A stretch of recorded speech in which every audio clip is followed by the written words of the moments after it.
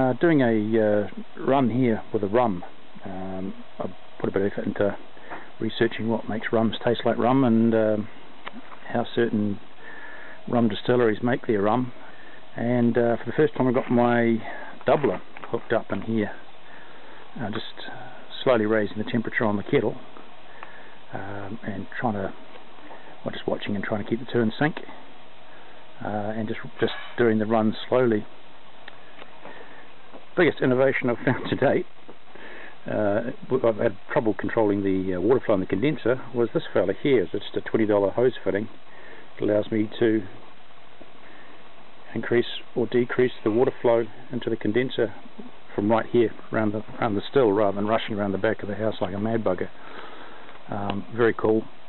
20 bucks makes a huge impact and a huge difference to running the thing. Well, the thumper just started thumping, which uh, means there's gas coming out of the kettle down there and through the thumper, so that's a good start.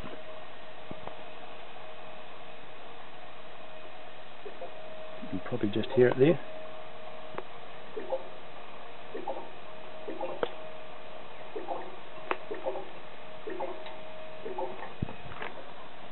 You can actually hear it better through the condenser outlet.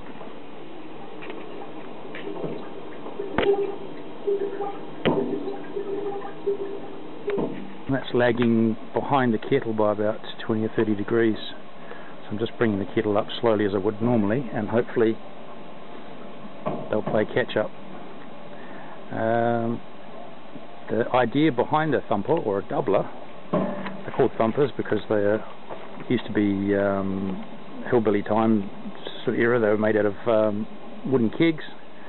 And uh, when the gas came came in through the keg and bubbled out in a large quantity, it would actually thump, keg would thump. So um, they're also called a doubler because they give you a double distillation. Um, essentially, that's what it's doing. Uh, your alcohol uh, liquid here comes uh, boils off, and the, the gas coming off is in a high concentration. It comes through your still head down into your, your doubler or your thumper, and it bubbles up and uh, recondenses and it forms a higher concentration liquid which is then uh, heats up because the gas coming through there is obviously hot um, and the gas given off there is a higher concentration than the gas given off in the kettle and that's that's pretty much the guts of it and then it just comes straight down into the condenser as it would normally if it was just, just rigged up as a, a simple pot still. Start, starting to take uh, ethanol off down here. Already got foreshots foreshots taken off, about 300 ml of that. Got my first jar out, and it started coming out at 90%, which is way above 90% uh, alcohol by volume, which is way above what I've ever got out of the, the pot still before. Um, second jar is coming out now, and it's around 85. Um, which is, is, pretty good again. That's way above what I've ever got uh, via the pot still pot still configuration. Um, the kettle sitting just has just got enough flame under there to keep it ticking away, um, and the thumper's lagging by about uh, eight eight to ten degrees. Um, and we're just getting a constant little dribble of uh, dribble of alcohol out of here.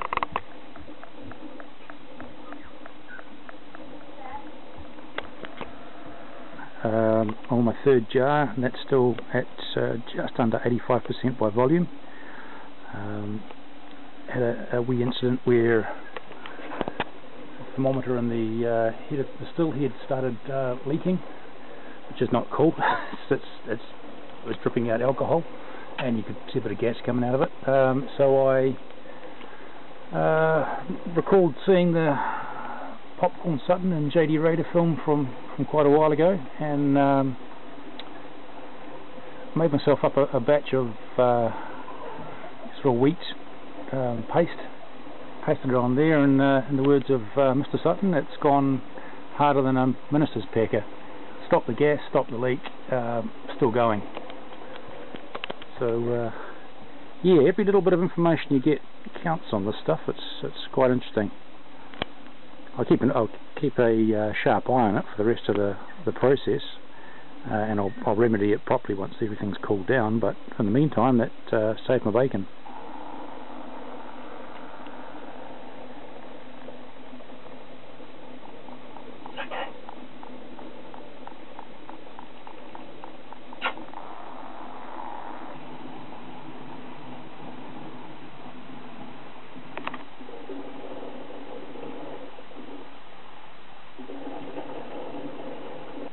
So here's the uh, yield from the rum run I did. Unfortunately my battery, uh, my camera cut out uh, before the end of the distillation, but here we are.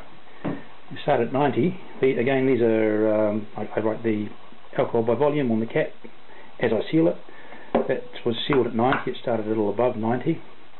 Uh, and then went to 85, 80, 78, 75, 65, and the last one is 62. I'm not sure if I will or will not use that. It has quite a good smell to it though, which is surprising. Um, and then that was uh, some back ends I took off at about 50%, and they've already gone into into the thumper for something else I'm doing today.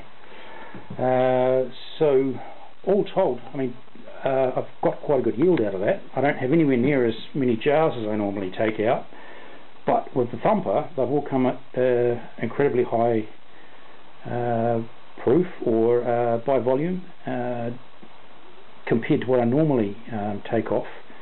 As I said, this this one started at 90, over 90 uh, initially on the um, spirit hydrometer, and down here, that's about where I normally start, around here somewhere, um, and take off at about 75, 70% by volume.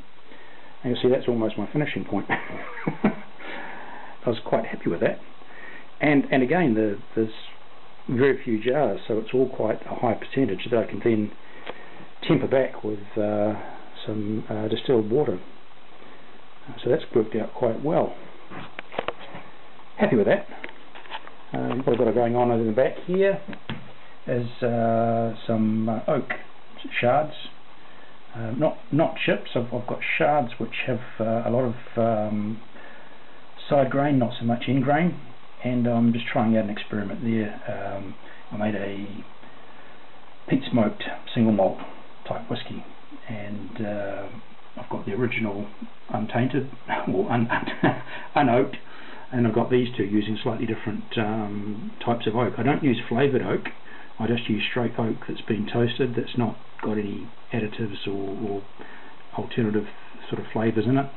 So uh, I'm just seeing what a, a lightly toasted oak versus a more heavily charred oak comes out like. Uh, that's been there for about a week or so, so it's probably give it another another week or two and give it a try. Uh, what I'm going to do today is do a run on a moonshine that's um, going to be using the column, basically the whole still, all assembled the way it was supposed to be used in the first place, and uh, I'll show you that in a bit.